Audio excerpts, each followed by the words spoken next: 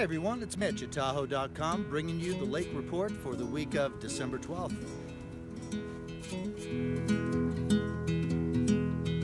With the clear skies come the cold temps, with expected daytime highs in the low to mid 50s and overnight lows in the 20s. A big highlight on the North Shore is the opening of the Diamond Peak Ski Resort in Incline Village, bringing another great option to snowboarders and skiers. In South Lake, the Hello Snowfest at Heavenly wraps their weekend long celebration on Saturday with their first ever music festival.